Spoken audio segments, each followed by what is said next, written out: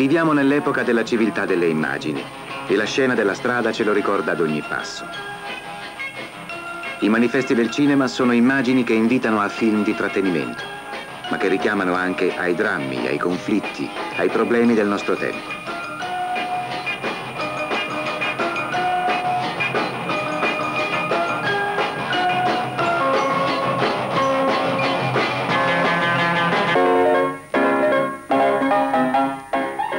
Quando il cinema era muto, il pubblico vedeva nello spettacolo cinematografico soltanto un'evasione. I manifesti mettevano in evidenza donne di lusso, regine del Liberty, che D'Annunzio chiamava ammirabili belve. Ve n'è una ricca collezione nell'album di bozzetti che il cartellonista Anselmo Ballester ha preparato in una lunga carriera iniziata negli anni 10 e che si è protratta fino ai nostri giorni.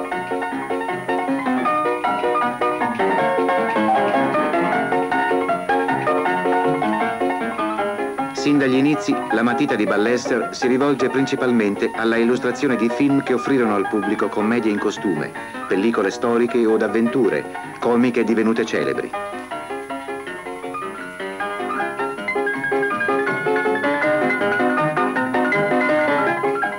Era l'epoca delle imprese di Tom Mix, che si alternavano alle storie bibliche e ai film di battaglie.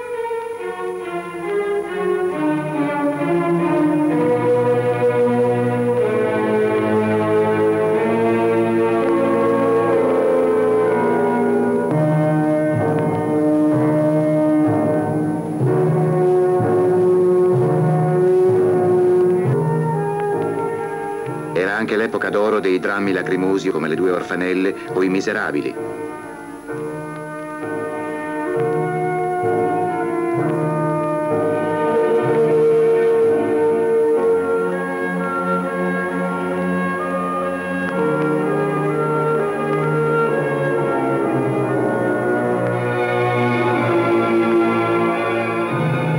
Ma tra Cipri e Belletti ecco Casanova, interpretato dal misterioso Ivan Majukin.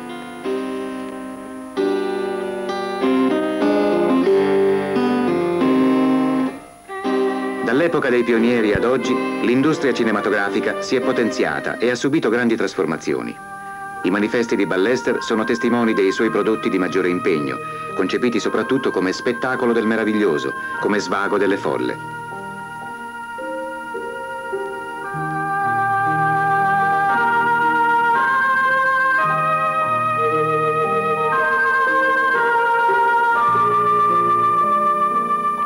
Nei bozzetti accuratamente rifiniti e sempre piacevoli di Ballester ritroviamo i nomi prestigiosi di Francesca Bertini e di Soava Gallone, di Maria Jacobini e Lida Borelli, di Anna Fugé e Leda Gis.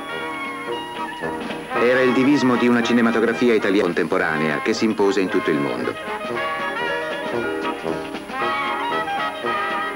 Lanciando Francesca Bertini e altre attrici, il produttore italiano Giuseppe Barattolo inventava lo Star System, nel tentativo di legare e affezionare il pubblico ai volti più popolari.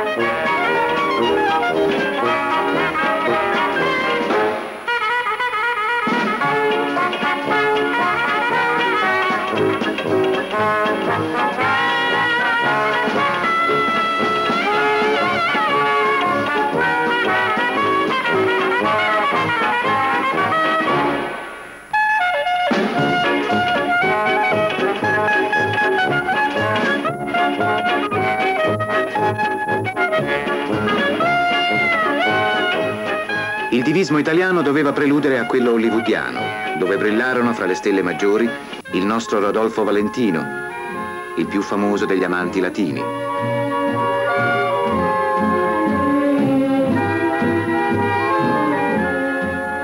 La fatale Greta,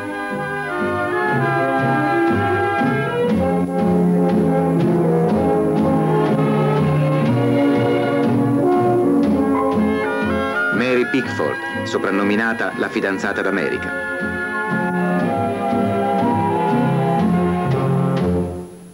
E il più celebre comico cinematografico, vero e maggiore clown dello schermo, Charlie Chaplin, detto Charlot. Dalle comiche più brevi e basate sui gags, cioè le trovate della tradizione circense, il personaggio Charlot arrivò ad opere intense, dove humor, poesia, sentimento dei problemi sociali dell'epoca trovavano armoniosa fusione. E con Chaplin si imposero anche molti altri comici, anch'essi legati alla tradizione clownesca e più lontano alla commedia dell'arte. Max Linder, Harold Lloyd, dagli occhiali di tartaruga, la coppia di Stanlio e Ollio,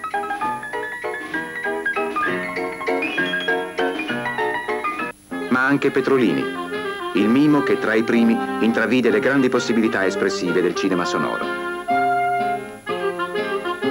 La seconda età del cinema, l'epoca del sonoro, portò una rivoluzione nello spettacolo cinematografico.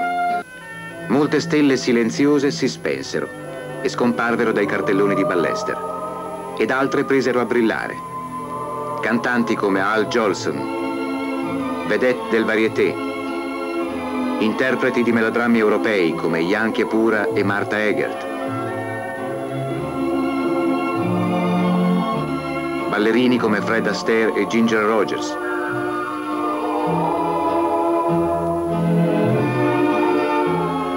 Al sonoro si aggiunsero altre novità. Progredì il cinema a colori e se ne ebbero saggi significativi con Becky Sharp di Ruben Mamulian e con Ramona. Poi ci fu il tentativo di rendere lo schermo tridimensionale, col film L'uomo ombra. Il predominio della produzione di Hollywood si consolidò e si affermò la commedia sofisticata, con È arrivata la felicità di Frank Capra e i gialli rosa, interpretati da William Powell.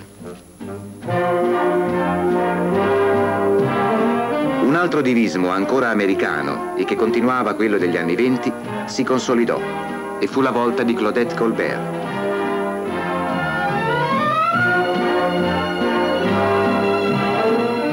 Crawford.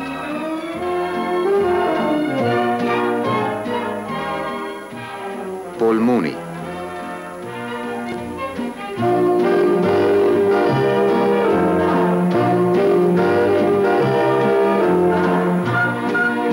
Ma il cinema americano si sviluppò anche in altri fortunati generi, nel vasto dominio del film di azione, dove brillò il talento di John Ford.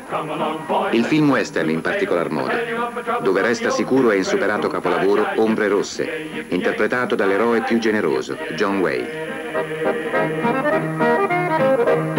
I woke one morning in the old Chisholm Trail, my rope in my hand and a cow by the tail. Come tie yippee yippee yippee come tie yippee yippee.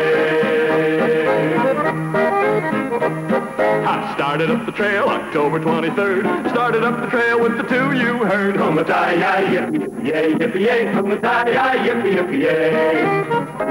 Negli anni 30, in Italia, dove le strutture industriali avevano ottenuto un rafforzamento, si restò fermi ad un cinema di evasione, come ricorda per esempio questa Guardia del Corpo di Bragaglia con Vittorio De Sica.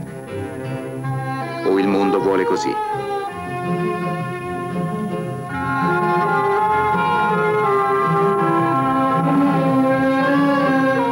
Attrici caratteristiche di quell'epoca furono Isa Miranda, Elisa Cegani, Mariella Lotti, Paola Barbara e Lilia Silvi, per non ricordare che alcuni tra i nomi che apparvero più frequentemente sui nostri schermi.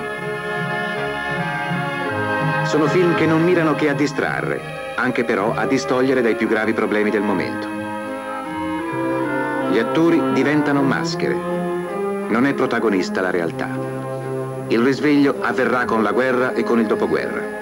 Anzitutto col film di Roberto Rossellini, Roma città aperta. E si dirà infine guerra alla guerra. Ma l'opera di Ballester si incontra quasi eccezionalmente coi film neorealisti di critica sociale. La sua opera continua a rivolgersi ai soggetti romanzeschi, romantici, musicali, con i volti di un Amedeo Nazzari e di un Claudio Villa. Ballester non si occupa soltanto dei film italiani o americani. Queste immagini di Eric von Stroheim in Alibi e Daniel Darrieux ne Il piacere stanno a testimoniare un interessante periodo della produzione francese. Nel dopoguerra ottenne grandi risultati artistici la produzione britannica con L'Amleto di Laurence Olivier ed altri drammi shakespeariani come Cesare e Cleopatra.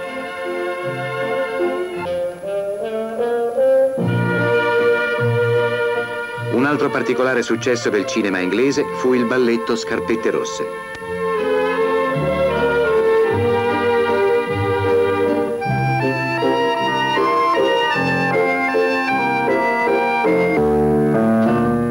Hollywood insiste ancora sui film in costume e divistici.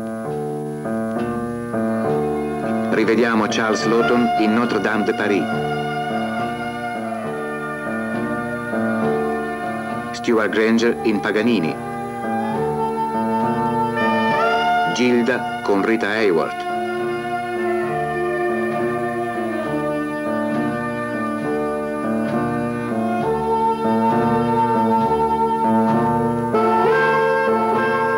nelle grandi trasformazioni ideologiche e sociali del dopoguerra, anche i film americani, seguendo talvolta l'esempio del neorealismo italiano, furono indotti ad affrontare drammi di vita contemporanea e furono più sensibili alla realtà, con opere come Tutti gli uomini del re,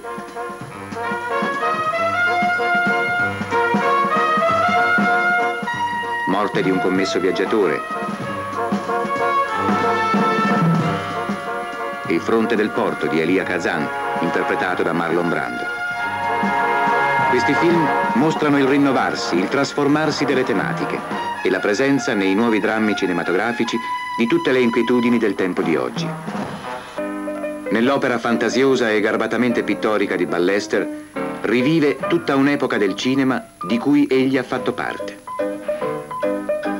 Volti somiglianti, scene amorose appena accennate, come volevano le esigenze dell'industria e il costume del momento, sempre ineccepibilmente eseguite e stampate.